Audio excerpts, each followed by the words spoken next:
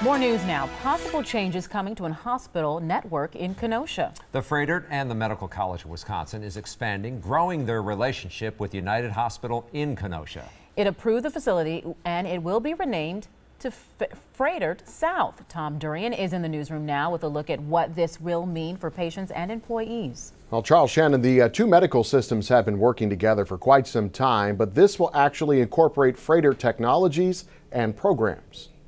It's a attractive healthcare market down there in Kenosha County right now, and they're looking to make sure they're prepared to be competitive and to provide good healthcare into the future. Business Journal reporter Sean Ryan has been looking into the deal struck between the two medical companies. The current partnership has allowed United patients to be referred to Froedtert for specialized services, but under the new agreement, United will integrate the medical college's quality standards and programs. Now, some of the uh, quality protocols, some of the record keeping at Froedtert and the medical college will be integrated into what they have at United Healthcare. United will retain local control under its local board, including who will work there.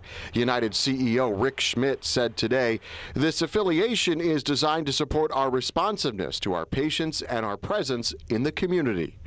Well, financial terms of that deal were not disclosed. If this is approved by both systems boards, the agreement would take effect later this year in October. Live in the newsroom, Tom Durian, today's TMJ4.